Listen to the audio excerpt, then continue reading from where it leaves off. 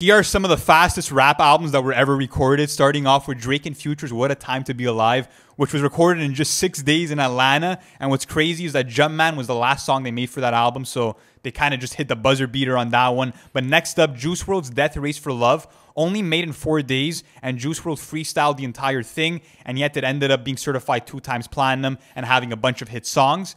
And last but not least on my list is actually Dreamville's Revenge of the Dreamers 3, which was made in only 10 days, That's which is absolutely crazy because 343 artists pulled up to studio sessions and over 140 songs were made for that album. It's true. And they had to cut that down to only 18 songs and only 35 different artists appearing on that project. So, which one is the most impressive in terms of like what the final product was for you? Probably Revenge of the Dreamers 3. I mean, imagine having that many artists and producers coming through to the studio and like you end up making that end product in 10 days. Very impressive on their part.